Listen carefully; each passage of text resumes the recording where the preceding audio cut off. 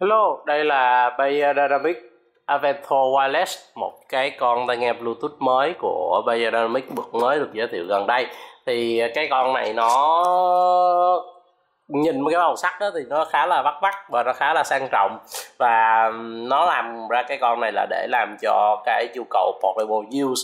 Thì cái tiếng của nó nói chung là khá là dễ đánh và khá là dễ nghe vì ở trong này nó là nó có một cái built-in amplifier rồi thế nên là mình không có cần phải ờ, đắn đo quá về cái chuyện là mình sẽ uh, nó không đủ công suất hay gì hết đó mọi người. Um, cái con này nè các bạn có thể thấy là nó được chứng nhận HiRes nó có Bluetooth 4.2 và nó có được chứng nhận Qualcomm aptX HD nó được nó nó được tích hợp cái công nghệ Qualcomm aptX HD một trong những cái công nghệ truyền dữ liệu Bluetooth tốt nhất dành cho âm thanh rồi sản phẩm đi sản phẩm của mình đó khi mà mình đem về nó thì nó sẽ là trong một cái túi vải giống như thế này và cái con Avento Wireless này được làm hoàn toàn tại Đức. Một cái con tai nghe Bluetooth được hoàn làm hoàn toàn tại Đức. Nghe là thấy chất lượng. Um, đây là cái dây 3.5 của chúng mình. Khi mà mình không khi mà điện thoại có hết pin hay cái gì đó thì mình cắm dây vào cái lột. Khi mà tai nghe có hết pin hay gì đó thì mình cắm dây vào mà mình nghe à, trong này nó có thêm một cái dây sạc nữa ha mọi người ha.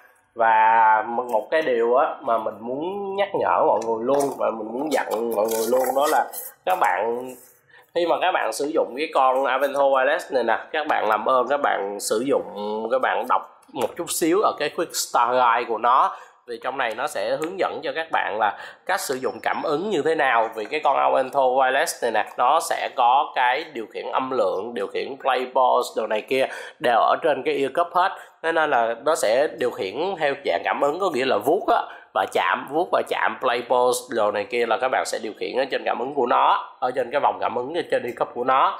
Thì cái chữ left và chữ right nó được in ở phía mặt phía trong của tai nghe.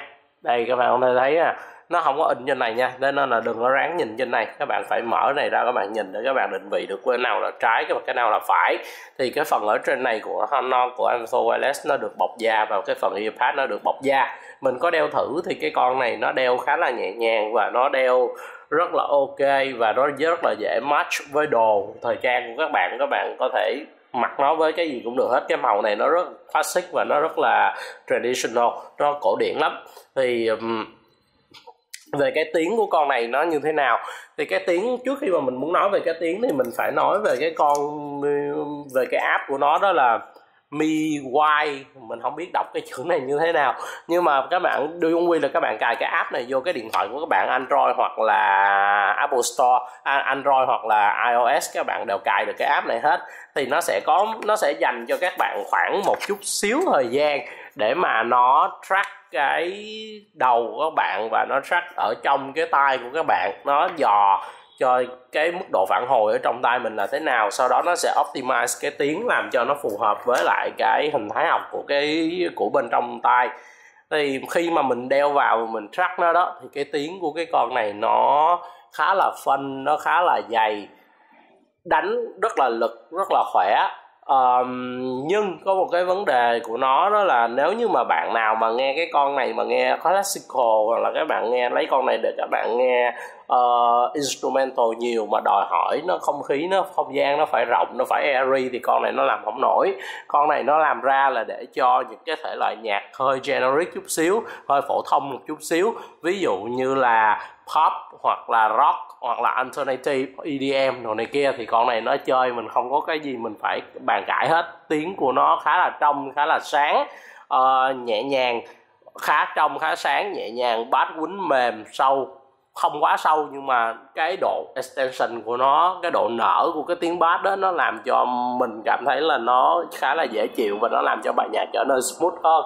Cái lý do mà các bạn không dùng con Bayer Dynamic Avento Wireless này để các bạn nghe classical instrumental đó, đó là bởi vì cái âm trường của nó nó hơi hẹp quá. Và khi mà các bạn nghe classical instrumental thì nó không có đủ nó tạo ra cái không gian rộng lớn của trong những cái bản đó rồi, mình cảm ơn mọi người. Mình sẽ review con này cũng sớm luôn. Thank you.